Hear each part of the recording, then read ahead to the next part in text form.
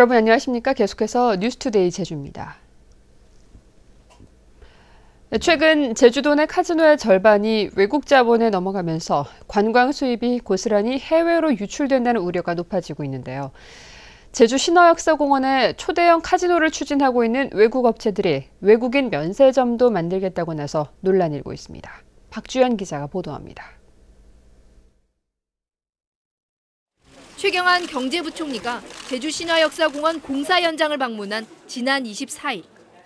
이곳에 카지노 복합 리조트를 짓는 공동사업자인 중국 란딩그룹과 싱가포르 겐팅그룹 대표들과 간담회를 가졌습니다. 이 자리에서 사업자들은 이미 싱가포르에 운영 중인 카지노 복합 리조트에도 면세점이 운영되고 있다며 제주에서도 외국인 면세점을 허용해 줄 것을 공식적으로 요청했습니다.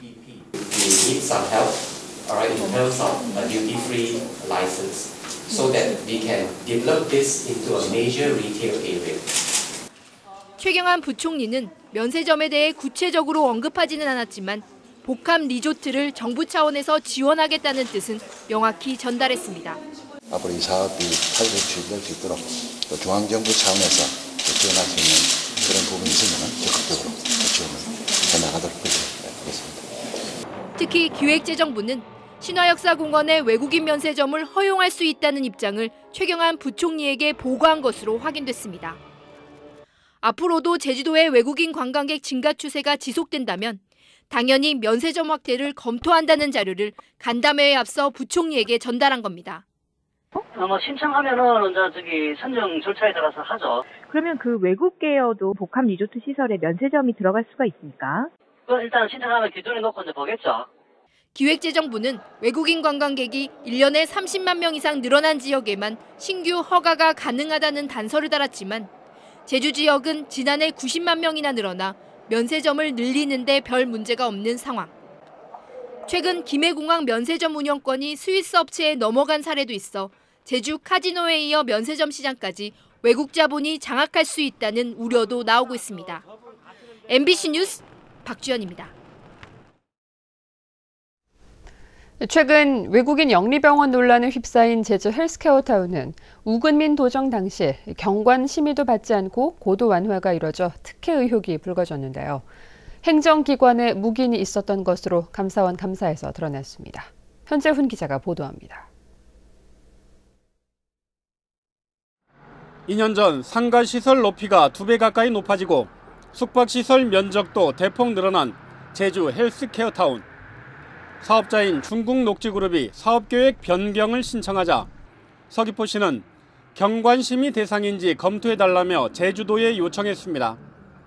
조례에 따르면 건축물 높이나 면적이 바뀔 경우 경관 심의를 받아야 하기 때문입니다.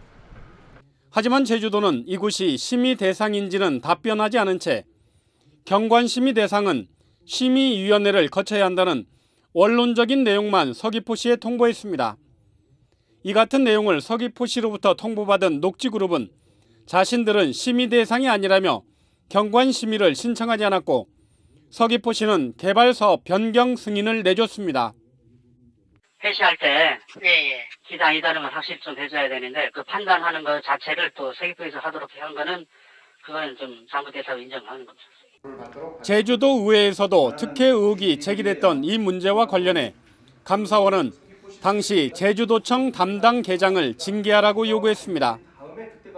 도의, 도지사와 고위직을 중심으로 해서 결정이 되어지는데 실제 책임은 이제 최하위 공무원이 지고 있는 이런 형편이어서 감사위원회의 감사 역할이 좀 더 강화될 필요가 있다고 봅니다.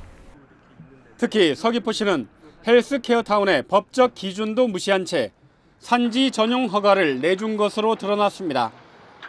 또한 아덴힐 리조트는 불법으로 산지를 전용했는데도 아무런 조치를 취하지 않았고 테디밸리 리조트는 원형으로 보존해야 할 지역의 지목을 멋대로 바꿔주는 등 개발 사업에 대한 특혜 의혹이 대부분 사실로 드러났습니다.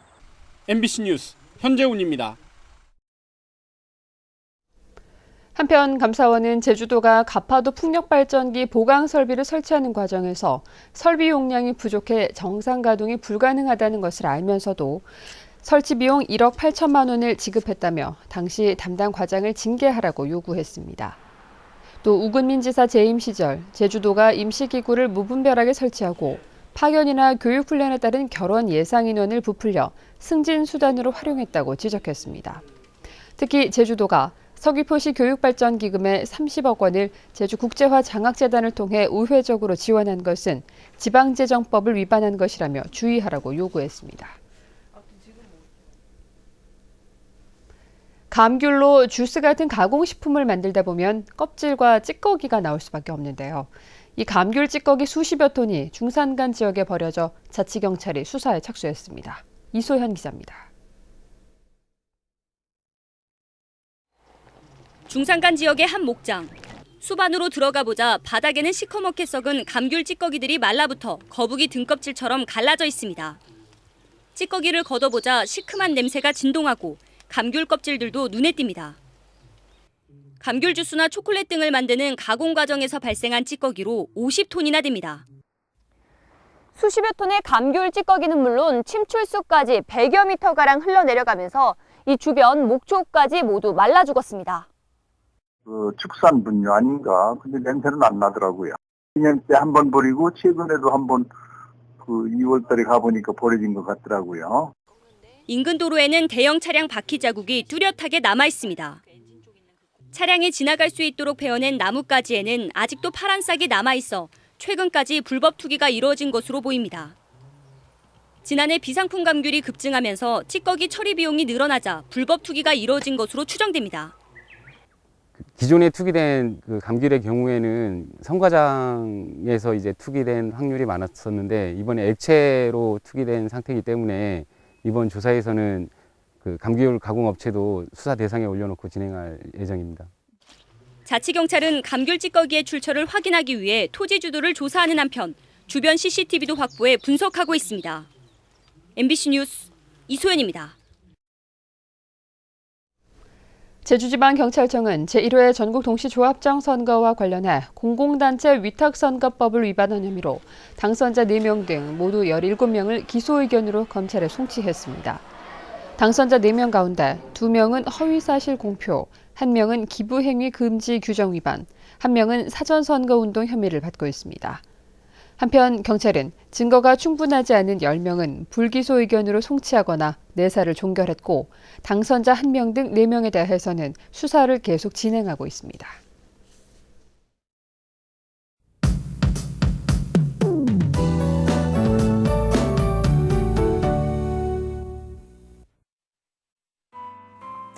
네, 오늘 아침 곳에 따라 뿌연 연무가 나타나고 있습니다. 시야는 조금 답답하지만 다행히 대기의 질은 비교적 양호한 편인데요. 하늘은 대체로 맑겠지만 북동부 지역을 중심으로는 오후 한때 빗방울이 떨어지는 곳이 있겠습니다. 이 주말인 내일은 낮 동안에는 나들이하기 무난하겠고요. 밤부터 비가 시작돼 모레 새벽까지 10에서 40mm 가량의 다소 많은 비가 예상됩니다. 다음은 자세한 지역별 날씨입니다. 네, 현재 북부 지역의 기온 16도 내외로 어제와 비슷하고요. 낮 기온은 어제보다 4도가량 높겠습니다.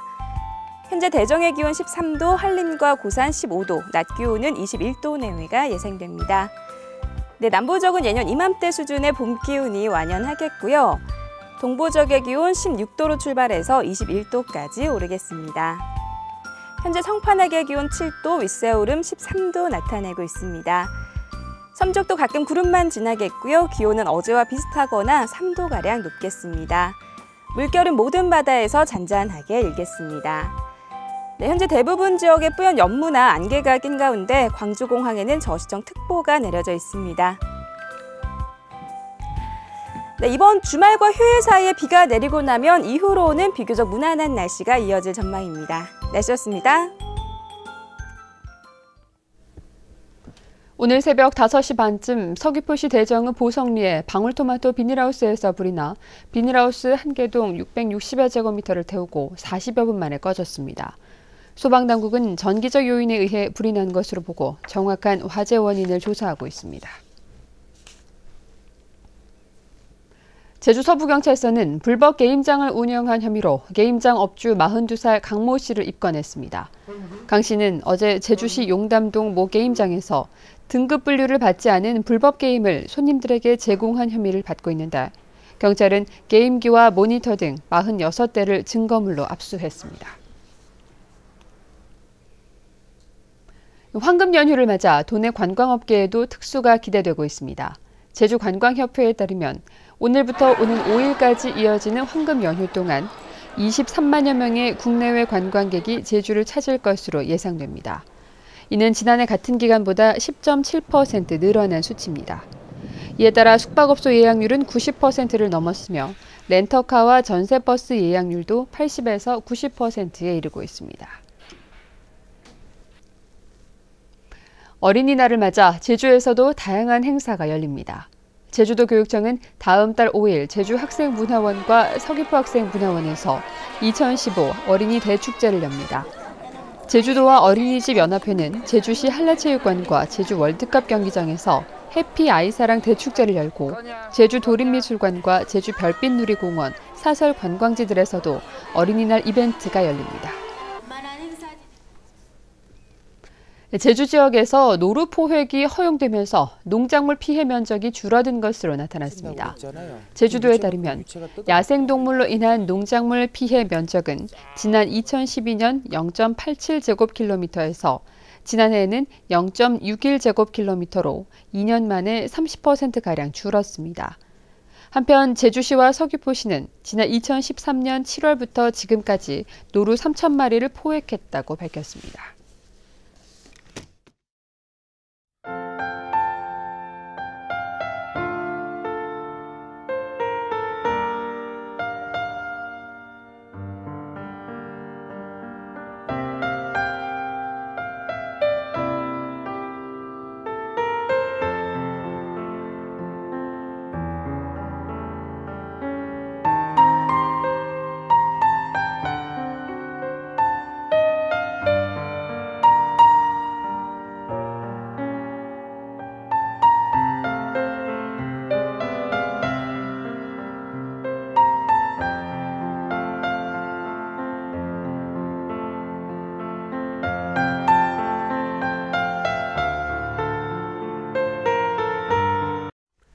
뉴스투데이 제주였습니다. 여러분 고맙습니다.